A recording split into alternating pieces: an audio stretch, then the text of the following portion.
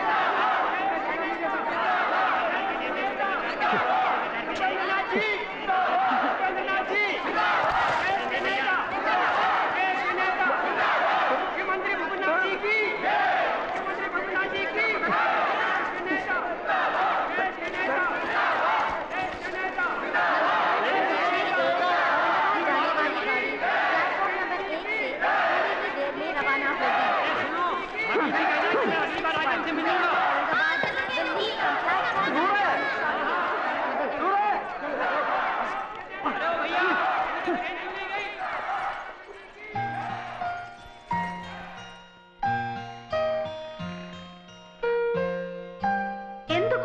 ഇത് ചേട്ടനെ ആരെങ്കിലും പിടിച്ച് തല്ലിയോ? ആ ഇനി അതോടെ ബാക്കിയുള്ളൂ. ഇവിടെ നാട്ടുകാർക്ക് മുഴുവൻ നട്ടഭ്രാന്താണെന്നാ തോന്നുന്നത് വെറുതെ ട്രെയിനിൽ കയറാനും ഇറങ്ങാനും ആളുകൾ ഉണ്ടാക്കുന്ന തള്ളു കണ്ടാലേ ഇന്നൂടെ ലോകമുള്ളൂ എന്ന് തോന്നും. ഈ അഡ്രസ്സും കൊണ്ട് അന്വേഷിച്ച് ഞാൻ രാത്രി മുഴുവൻ കറങ്ങി നടന്നു. ഞങ്ങൾ കഴിഞ്ഞ ആഴ്ച വീട് മാറി. ഇത് തൽക്കാലം രണ്ടു മൂന്ന് മാസത്തേക്കാ. അത് കഴിഞ്ഞാൽ കോട്ടേഴ്സിലേക്ക് മാറും. രവിയേട്ടൻ ഓഫീസിൽ പോയ? ഇല്ല ഉള്ളിലുണ്ട്. റെഡിയാവുക. എന്റെ എഴുത്ത് കിട്ടിയില്ലേ? ഉവ് എഴുത്തൊക്കെ കിട്ടി. പക്ഷേ മൂപ്പർക്ക് അനക്കൊന്നുമില്ല. ഇനി ബാക്കി ഞാൻ പറയാം. നീ ഇങ്ങോട്ട് വന്ന അതേ തീവണ്ടി രണ്ടരക്ക് നാട്ടിലേക്ക് മടങ്ങിപ്പോ. പെട്ടെന്ന് ചെന്നാൽ ടിക്കറ്റ് കിട്ടാൻ വലിയ തിരക്കുണ്ടാവില്ല കുഞ്ഞളിയാ. ഇത്രയും ദൂരം സഞ്ചരിച്ചു വന്നിട്ട് അപ്പോട്ടിനൊന്ന് ക്ഷീണം മാറ്റി നാളെ പൊയ്ക്കോട്ടെ രവേട്ട ആണോ? എന്നാ നീ ചെന്ന് കുറച്ച് എണ്ണയും കുഴമ്പും ഒക്കെ എടുത്തു വെച്ച് കൊടുക്ക് പൊന്നാങ്ങളക്ക് മൂപ്പര് ഉണ്ട് കുളിച്ച് സുഖമായിട്ട് കുറച്ച് ദിവസം ഇവിടെ താമസിക്കട്ടെ. എണ്ണയും കുഴമ്പൊക്കെ തേച്ച് അളിയാൻ കുളിച്ചാൽ മതി. നീ ഇതൊന്ന് ഒപ്പിട്ട് ഞാൻ പൊക്കോളാം. കൊടു. എന്നെ നോക്കണ്ട. നന്നായിട്ടൊരു ഒപ്പിട്ട് കൊടു. അളിയൻ കൊണ്ടുപോയി വിക്കട്ടെ. സുഖമായിട്ട് തറവാട്. രവിയേട്ടാ ഞാൻ വിശദമായിട്ട് രവിയേട്ടൻ എല്ലാം എഴുതിയിരുന്നു.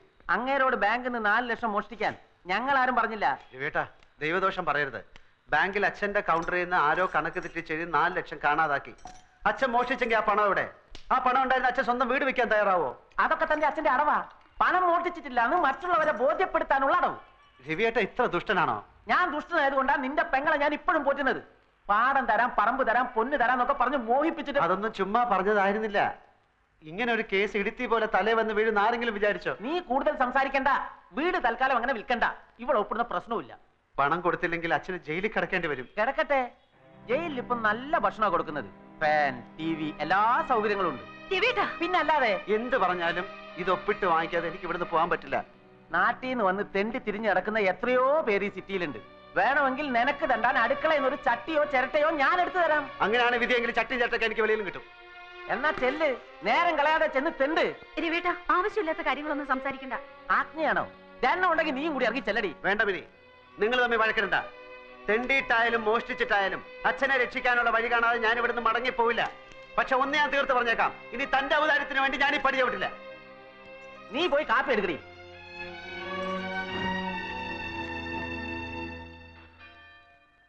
അവൻ നൂറുദിൻ നൂറ് എന്ന് ചെറുതാക്കി വിളിക്കും. എന്റെ ബാല്യകാല സുഹൃത്ത് അവൻ ഈ നഗരത്തിലാണ്.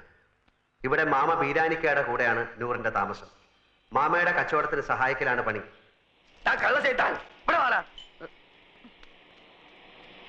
എന്താ മാമ? എഴുപത്തെട്ടും നാൽപ്പത്തി മൂന്നും കൂട്ടിയാൽ എത്രണ്ട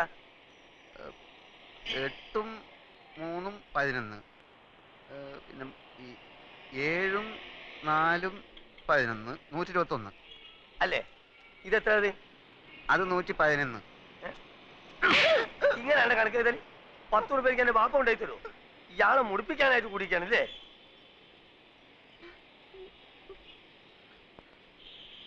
ഈ എന്താണ്ട് കുന്തം മുണിക്കമായിരിക്കണേ അന്റെ മൂന്ന കാണാനല്ലേ എരപ്പ ഈ ആൾക്കാർ വന്നിക്കണേ?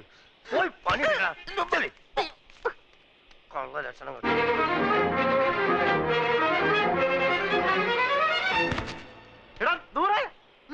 എന്റെ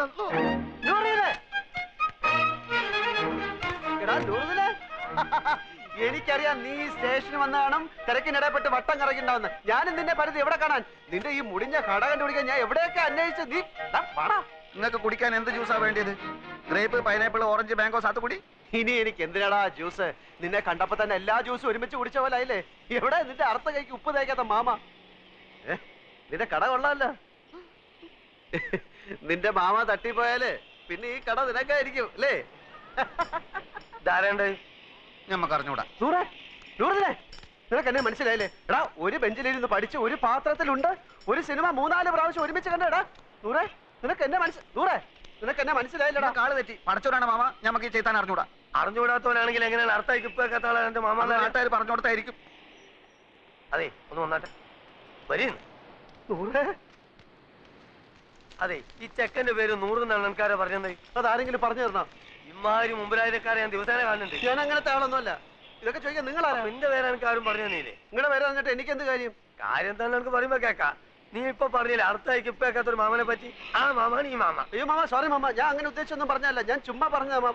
നമുക്ക്. ഈ എന്താ നമ്മളെ മാമാന്ന് നിൽക്കുന്നത് എന്റെ ഉമ്മ എന്താ നമ്മളെ പെങ്ങളച്ചാ? ഇല്ലാത്ത പരിചയം കാട്ടി ഓരോരോ ഹമാറുകൾ വലിഞ്ഞു കയറും കേരളക്കാരെ പറയിപ്പിക്കാൻ.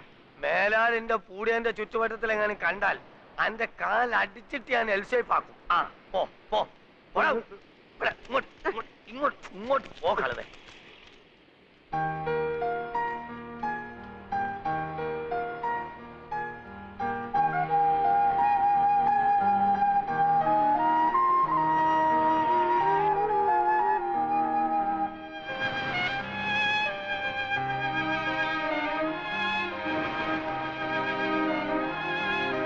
ഇങ്ങോട്ട്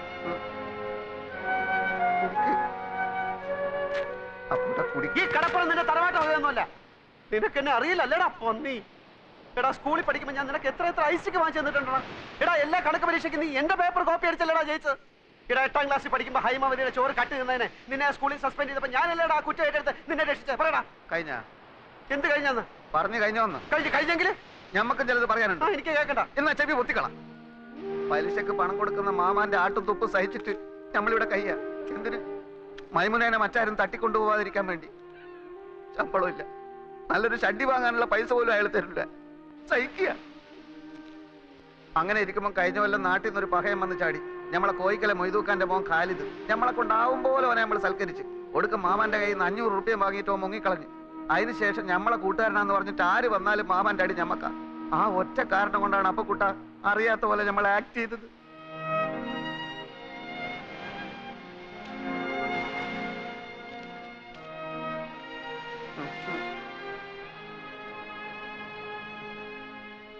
എന്നാലും ഒരെന്നാലുമില്ല.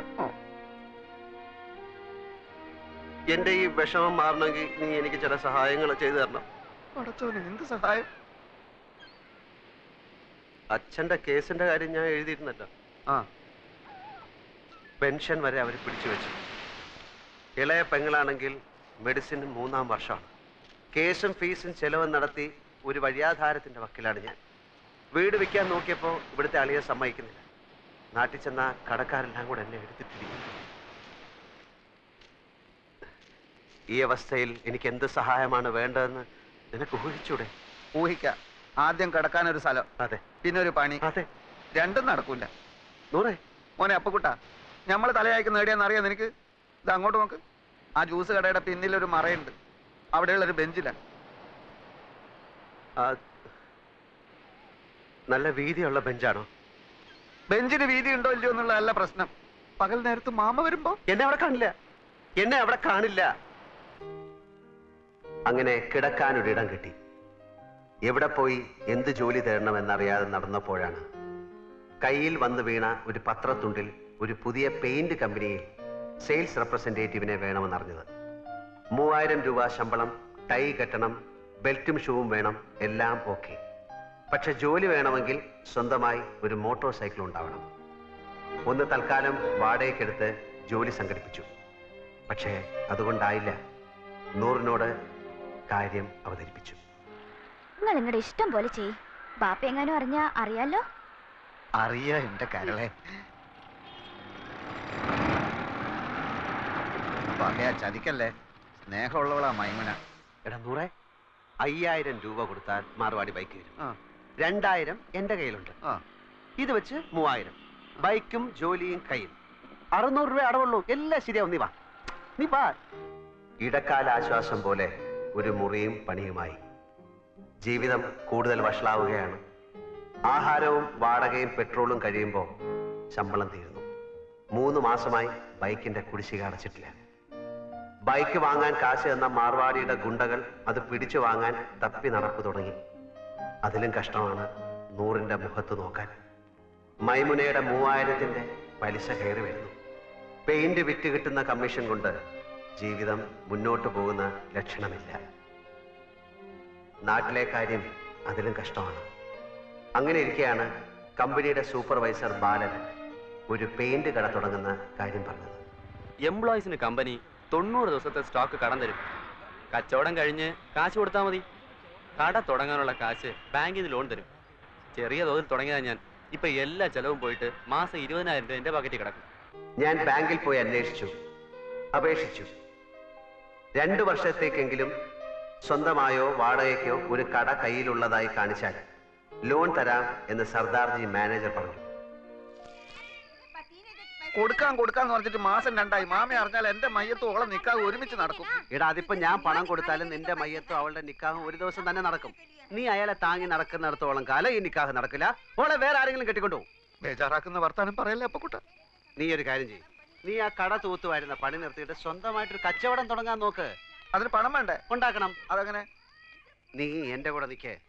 ഞാനൊരു പെയിന്റ് കട തുടങ്ങാൻ പോവാണ്. ഒരു നാല് ലക്ഷം രൂപയാവും. പണം കായ്ക്കുന്ന മരം എന്തെങ്കിലും നട്ടുപിടിപ്പിച്ചിട്ടുണ്ടെങ്കിൽ നാല് ലക്ഷം പോലും. എടാ ബാങ്ക് തരും. മാനേജറെ പോയി കണ്ടു. നല്ല അമ്പോറ്റി അടിച്ചിങ് ലോണിനുള്ള ആപ്ലിക്കേഷൻ കൊടുത്തു. അടുത്ത ആഴ്ച കാശ് കിട്ടും. അപ്പൊ കൂട്ടാ നമ്മളെ അങ്ങനെ മണ്ടനാക്കല്ലേ നിനക്ക് എന്നെ വിശ്വാസം ഇല്ലെങ്കിൽ നീ എന്റെ കൂടെ വാ. ബാങ്ക് മാനേജറുടെ വായി തന്നെയൊക്കെ രണ്ട് ലക്ഷം രൂപ ഡിപ്പോസിറ്റ് കൊടുത്താൽ പത്ത് ലക്ഷം രൂപയുടെ സ്റ്റോക്ക് വരും. വിറ്റിട്ട് മൂന്ന് മാസം കൊണ്ട് പൈസ തിരിച്ചു കൊടുത്താൽ മതി. കടയുടെ വാടക ഒന്നേകാൽ ലക്ഷം രൂപ. പോയിട്ട് എഴുപത്തയ്യായിരം ഇരുപത്തയ്യായിരം വീട്ടിലേക്ക് അയച്ചു കൊടുത്താലും കുറെ നാളത്തേക്കുള്ള കേസും ഫീസും നടക്കും. ബാക്കി അമ്പതിനായിരം പതിനയ്യായിരം കൊണ്ട് ആ മറ്റേ മോട്ടോർ ബൈക്ക് മാറാടിയുടെ മുഖത്ത് വലിച്ചോണ്ട് കൊടുക്കും ബാക്കി മുപ്പത്തയ്യായിരം പതിനയ്യായിരം കൊണ്ട് അന്തസ്സുള്ള വൃത്തിയായിട്ടൊരു സ്ഥലം താമസിക്കാൻ. അപ്പൊ മൈമനയുടെ മൂവായിരം? അത് കൊടുക്കും. പോയിട്ട് ഇരുപത്തിരണ്ടായിരം. അത് ഞാൻ എന്ത് ചെയ്യുന്നറിയോ? കൊറേ കുപ്പായം വാങ്ങും കൊറേ സിനിമകൾ എടാ മണ്ട മുത്തപ്പ അത് ഞാൻ നിനക്ക് തരും. ഒരു ജ്യൂസ് കട തുടങ്ങാൻ.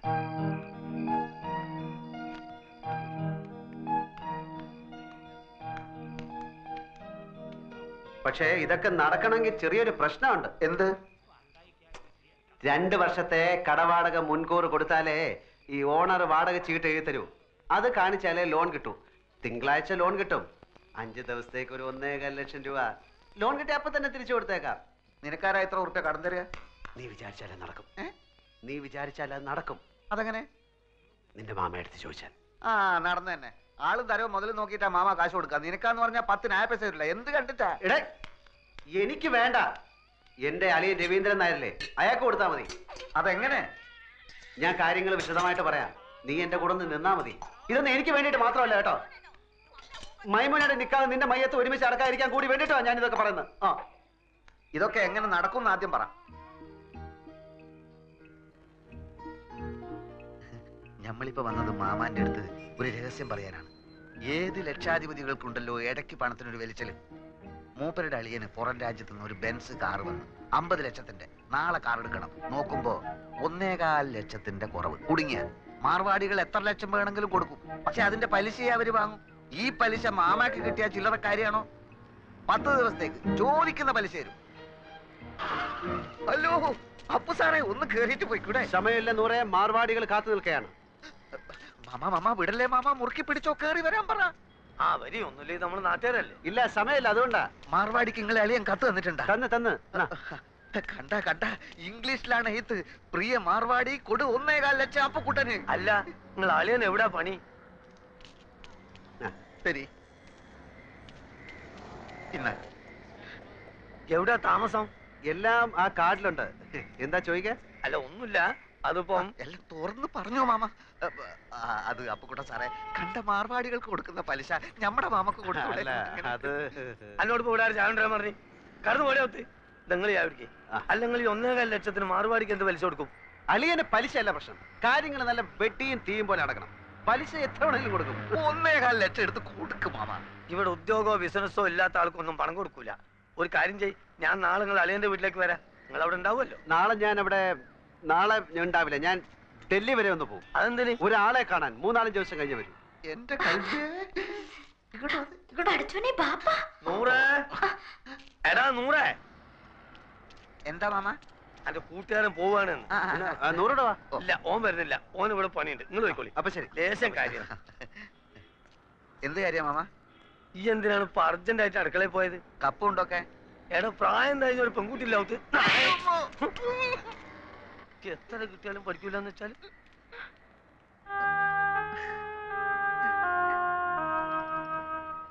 കേസ് ജയിച്ചാൽ അച്ഛന്റെ പെൻഷനും പ്രൊവിഡന്റ് ഫണ്ടും ഒക്കെ കിട്ടുമല്ലോ. അപ്പൊ തിരിച്ചു കൊടുക്കാം.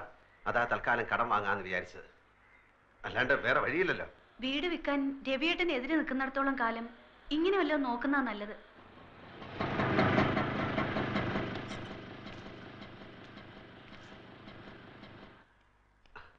അവരെ കാണുന്നില്ലല്ലോ. പത്തര മണിക്ക് വരാന്ന് പറഞ്ഞ. രണ്ടു ദിവസം ഞാൻ കുളിക്കുകയോ ഷേവ് ചെയ്യുകയോ ഒക്കെ ചെയ്തു അതിനെന്താ?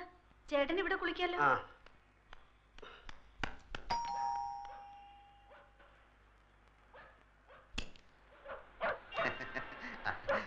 വരുമെന്ന് പറഞ്ഞിരുന്നു. വരൂ വരൂ. ചേട്ടൻ ഇപ്പൊ കുളിക്കാൻ കയറിയതേ ഉള്ളൂ. ഇത്ര നേരം കാത്തിരുന്നു. ഇരിക്കൂ. രവീന്ദ്രൻ നായർ മിസ്സിസ് ആണല്ലേ അതെ. ചേട്ടാ ദേ കാശിന്റെ ആൾക്കാർ വന്നു.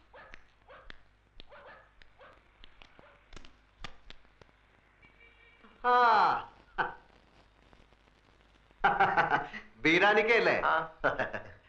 ഇതാണ് ആൾ. ഞാൻ ഷേവ് ചെയ്തോണ്ടിരിക്കുകയായിരുന്നു അല്ല നിങ്ങൾ ഷേവ് ചെയ്യുമ്പോ പുരികം പൊരിക്കണ്ടോ? അത് തലയിൽ കൂടെ തൈരും കൂടെ ഇല്ല ധൃതി തേച്ചപ്പോ എല്ലായിടത്തോടെ ആയിപ്പോയി. ഞാൻ ഓഫീസിൽ പോകാൻ ലേറ്റ് ആയി. നിങ്ങൾ വരുന്നുള്ളത് കൊണ്ട് ഞാൻ ഇപ്പൊ എളുപ്പം ധൃതി തേച്ചപ്പോ ലേറ്റ് ഇല്ല നമ്മൾ എത്ര രാഹുകാലത്തിന് രണ്ടര മിനിറ്റേ ബാക്കിയുള്ളൂ. ഞാൻ ബീരാനിക്കെ പോലെ ഒരു വലിയ മനുഷ്യന്റെ ആദ്യമായിട്ട് ക്യാഷ് വാങ്ങിക്കാമല്ലോ അപ്പം നമുക്ക് ലേറ്റ് ആക്കണ്ട. രാഹുകാലം തെറ്റിക്കാതെ. ഒപ്പിട്ടേക്ക്. സത്യമുള്ള പൈസ ആയതുകൊണ്ട് പലിശ കുറച്ച് കൂടുന്നേ ഉള്ളൂ. സാരമില്ല ആവശ്യക്കാരന് ഔചിത്യമില്ലല്ലോ. ഇവിടെ നാപ്പത്. ഇതിലൊരു നാൽപ്പത് ഉറുപ്പ്യയുടെ കുറവുണ്ടാവും. ആ. കാരണം ഞാൻ ഓട്ടോറിക്ഷ എടുത്ത് വന്നാണ് ഇങ്ങോട്ട്. അതിന് കൊടുത്ത് നിങ്ങൾ ആവശ്യത്തിന് സാരമില്ല ഞങ്ങൾ ആദ്യമായിട്ടാണ് അന്യനായ ഒരാളുടെ കയ്യിൽ നിന്ന് പൈസ കടം വാങ്ങിക്കുന്നത് അല്ലേ?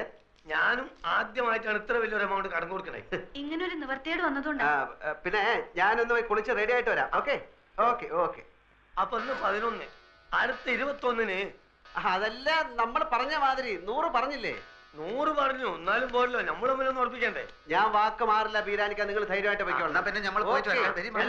നമ്മളെ പറഞ്ഞ പോലെ ആ.